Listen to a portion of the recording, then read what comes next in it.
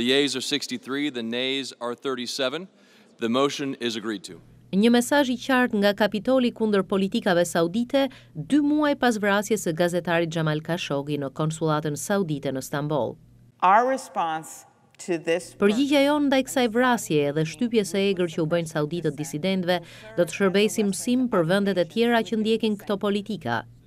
Me këtë votë, rezoluta miratohet nga Komisioni për Marrëdhënie me Jashtë dhe kalon tani para Senatit të plotë për votë.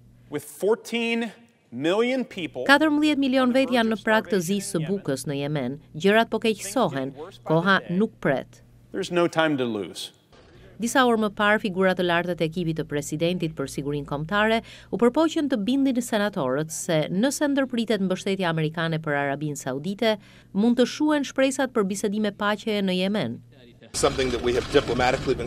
është synimi ynë që po përpiqemi të arrijmë prej muajsh me rrugë diplomatike dhe mendojmë se jemi shumë pranë.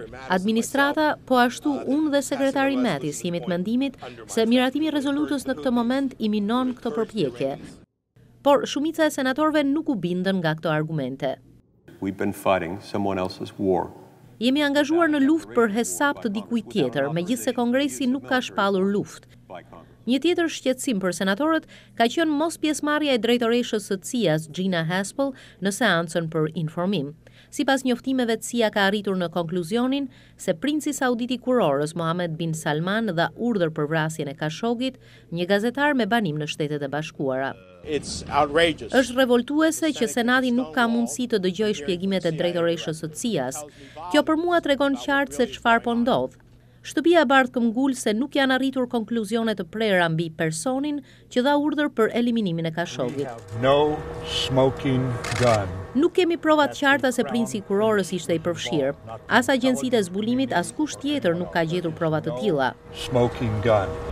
Mendoj se ka ardhur koha t'i përcjellim një mesazh të qartë dhe të prerë aleates sonë Arabisë Saudite se do të ketë pasoja për veprime që bien ndesh me vlerat tona themelore, si përfshirja në vrasjen e një gazetari me banim në Shtetet e Bashkuara.